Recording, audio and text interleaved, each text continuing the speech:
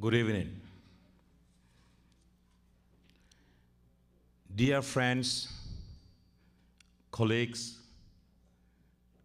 sisters and brothers, ladies and gentlemen, peace be Almighty Allah from you.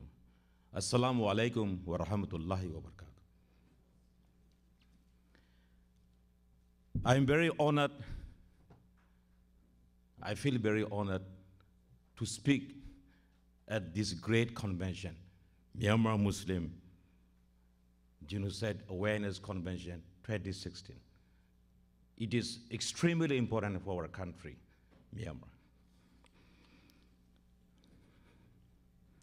First of all, I would like to say Myanmar Muslims are not associate citizens of Burma. But they are bona fide citizens of Burma. Burma is our ancestral land. Burma is our motherland. Arkan state of Burma is our ancestral land. Arkan state is motherland of Rohingya. Rohingya are not illegal immigrants. Rohingyas are bona fide citizens of Arkan. Rohingya did not occupy Burma, but Burma occupied the land of Rohingya.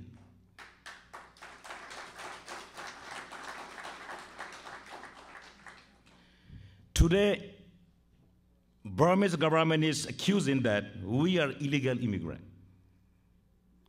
The reality, the reality is Rohingyas are indigenous ethnic race of Arkan.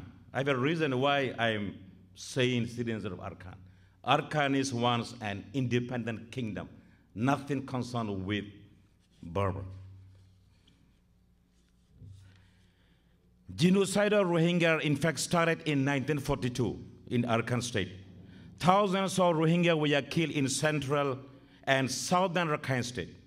Thousands of innocent children were massacred by extreme Rakhine Thakeng groups. Thousands of Rohingya fled from south to north of Arkan state. Similarly, many Rakhine fled to from north to south of Arkan state without natural fear. This is the reason why in northern Rakhine state has more Rohingya, not because of illegal migration. It's very important to, to note it. But Burmese government have been propagating that Bengalis from Bangladesh are migrating to Arkan. This is not true, absolutely not true.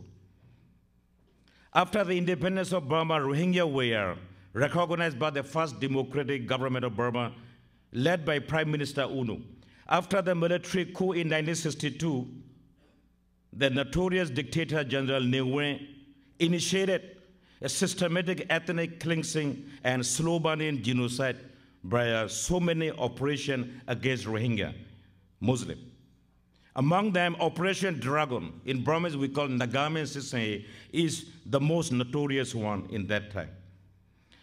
As a 13 years old boy, I saw with my eye the plight of Rohingya in 1978.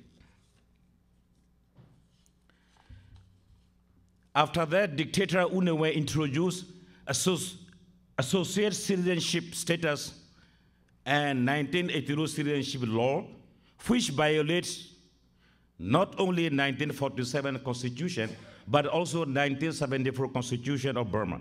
1982 citizenship law is in fact not a citizenship law, but a weapon to conduct ethnic cleansing and genocide of not only Rohingya Muslim, but also all Myanmar Muslim across the nation.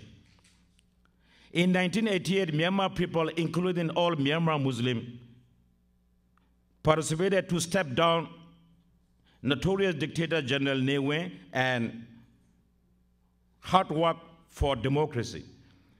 In this point, I would like to remind that 1988 Revolution for Democracy was not initiative of NLD, but it was initiative of 88 generation students. All Myanmar Muslim and Rohingya Muslim students participated in 1998 democracy movements. In the wake of 1990 election, NLD party became popular and almost all Myanmar people supported NLD with the hope of democracy, justice, liberty, and equality for all. A lot of Myanmar Muslims and Rohingya Muslim activists are sacrificed for the NLD. In 1993, military regime, so-called SLORC, State Law and Order Restoration Council,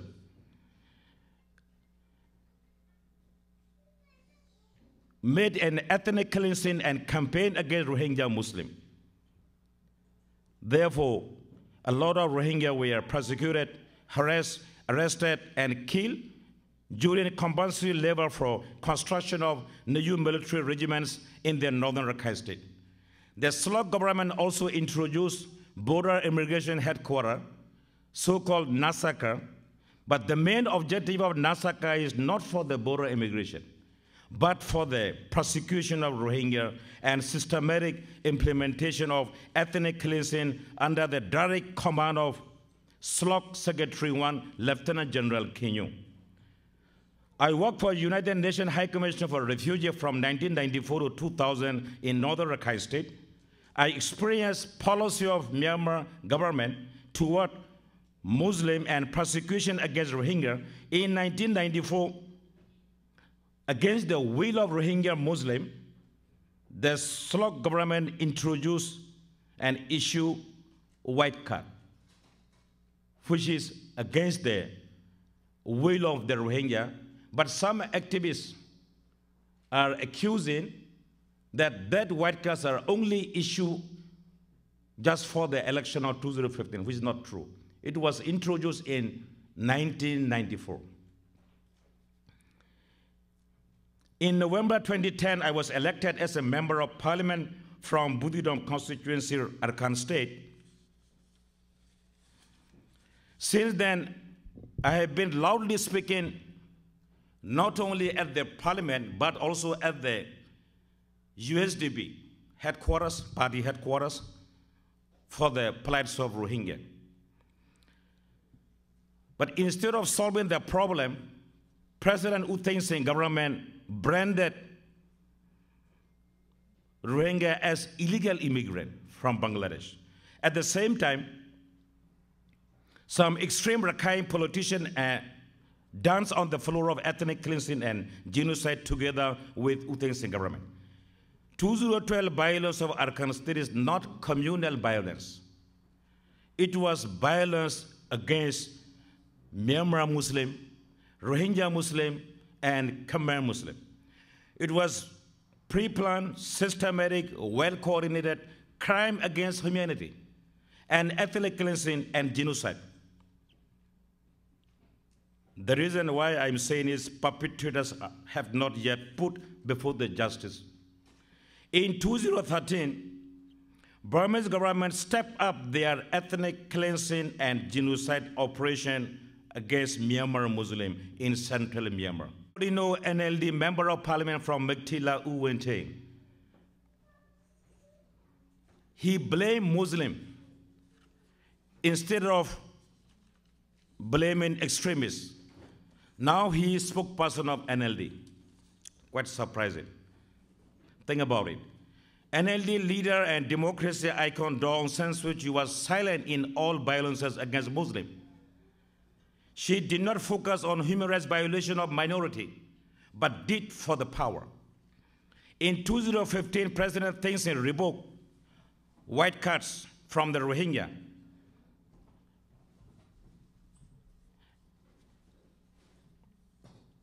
And revoked voting rights and amended political party registration law, parliamentary election law to exclude Rohingya from the election in November 2015. Then introduced national verification card. The name is very beautiful. In English, it sounds very, very nice. National verification card. But in fact, in Myanmar, this is not national verification, it's cheating. In Myanmar, let me translate. When they translate to the English, they call national verification. It is a lie to international community.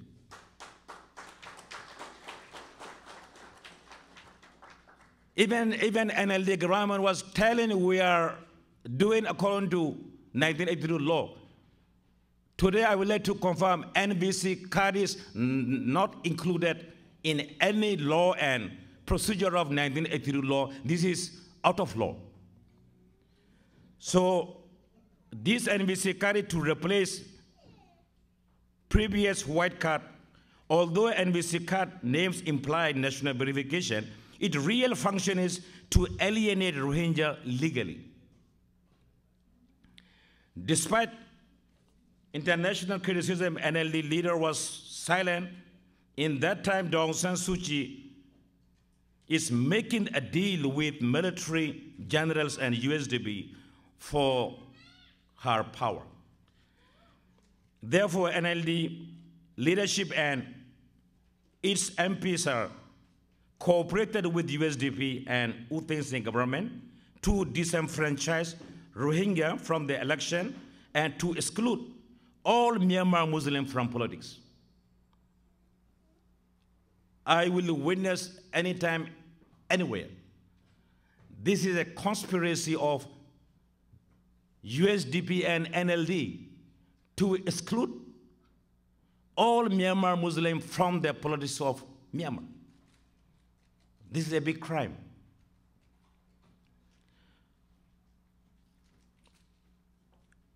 And again, almost all Myanmar Muslim and almost all Rohingya candidates were denied for the election 2015 by accusing them they are not citizen. I am one of the embodiment.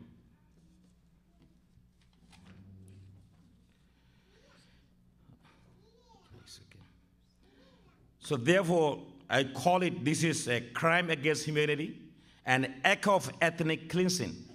If not, I want to ask everyone, what's that? What it means.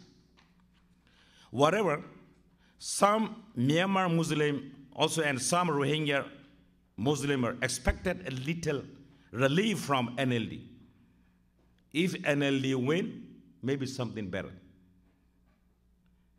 Therefore, all Myanmar Muslims voted for NLD in 2015 election. Unfortunately, no single Rohingya were able to vote because they were disenfranchised before the election. After the landslide victory of NLD, Daw Aung San Suu Kyi became state councilor of Myanmar, which is informally higher than the post of president of Myanmar. And also she became the Minister of President Office Ministry. And also, she is responsible for Foreign Affairs Ministry. A lot of posts. But NLD government is trying again to issue NVC card for Rohingya. I told previously this NVC card is not included in the 1982 citizenship law. But even NLD government was telling international community, we are doing according to 1982 citizenship law. Please give us a space. What it means? It's already illegal.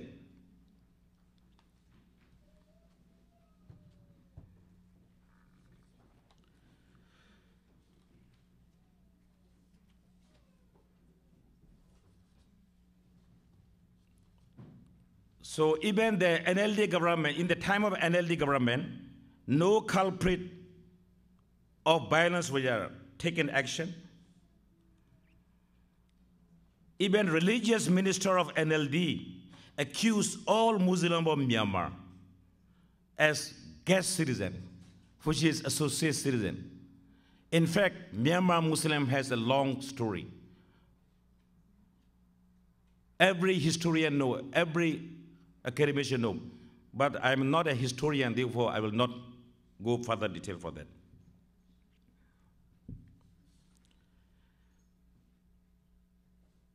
As I explained earlier, the term associate citizenship and the whole law of 1982 is, as I explained, it is a weapon for the genocide or ethnic cleansing. Now, situation of Muslims are the worst in the history of Myanmar. So because of time restriction, let me conclude. So I would like to conclude that ethnic cleansing and genocide agenda is still on the table of NLD-led Burmese government. Therefore, we all need to be united. We all need to work hard in collaboration with international community to remove that agendas from the table of Burmese government. Thank you, everyone.